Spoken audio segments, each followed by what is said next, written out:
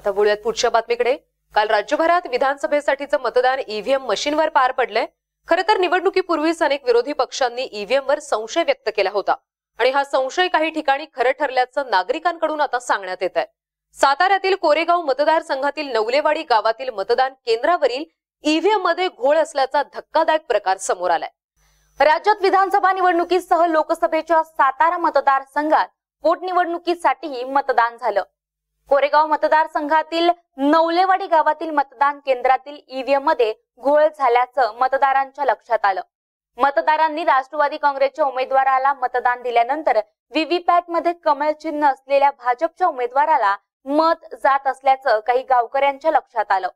मतदान केंद्रांवरील अधिकाऱ्यांना याबाबत गावकऱ्यांनी तक्रार केली.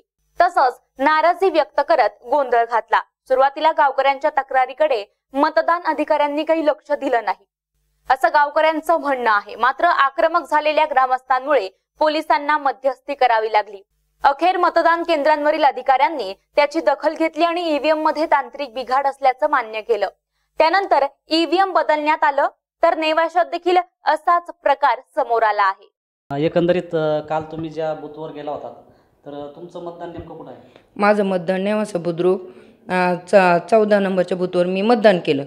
आणि चौदा नंबरच्या मत बूथवर मतदान करून आल्यानंतर पंधराला माझ्या काही महिला मतदान करायला होत्या.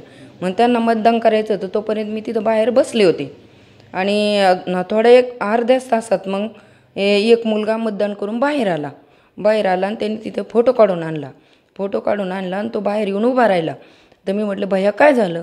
तर तो म्हटला सात नंबरला बटन दाबलं का एक नंबरला लाइट लागतो म्हणे. मग आवाज येतो म्हणे सात नंबरचं बटन दाबलं. मग मी त्याचा फोटो बघून घेतला. म्हणलं मला दाखव आधी काय नेमकी?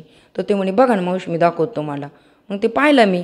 तर मग मी बस अधिकाऱ्यांना बोलले म्हणले बूथ बंद ठेवा थोड्या वेळा बघा. मतदान लोकांना बा थांबवा म्हटलं. इथं काहीतरी अनुचित प्रकार घडू राहिला आहे तर मग त्यांनी काही बंद बंद थांबव ठेवलं नाही. आपले कार्यकर्ते होते ना दुसरे काही. मग त्यांनी थोडं ब संभाषण सुरू केलं बाहेर. बोलायला लागले आपापसात त्यांनी पण पाहिला तो फोटो त्या मुलाच्या याच्यामध्ये. आणि मग ते म्हणले मग जरा थांबा म्हणे अधिकाऱ्यांनी म्हणे थांबा आम्हाला बघू द्या.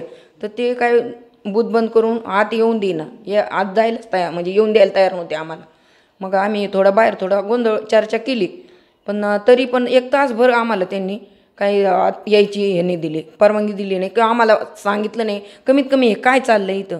का आम्ही तुम्हाला दाखवतो आहे या असं काही कोणत्याच गोष्टीला ते तयार नाही झाली.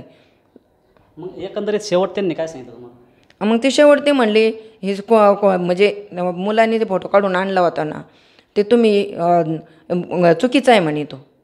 तो असं म्हणजे हे नाही. मला मुल मुलगा फोटो चुकीचं कसं काढून आणेल? बघा ना म्हटलं तुम्ही बघा त्यांना पण दाखवला आम्ही त्या मुलाने पण दाखवला. पण ते म्हटले नाही नाही. आणि मग ते बूत बंद ठेवा म्हणलं त्याला कुलूप लावा. तरी पण त्यांनी बूत काय बंद ठेवलं नाही. आणि त्याच्यानंतर आम्ही म्हणजे फोन करण्याचा प्रयत्न केला दुसऱ्यांना. काही असं असं प्रकार घडू राहिला इथं. तर मग नंतर थोड्याच वेळात तहसीलदार साहेब आले. तहसीलदार साहेब आले तर मग मग त्यांनी काय करायचं? बूथमध्ये जाऊन आम- आपले जे कार्यकर्ते होते ना त्यांना घेऊन जायचं ना. मग तिथं काय घडलं ते दाखवायचं आधी.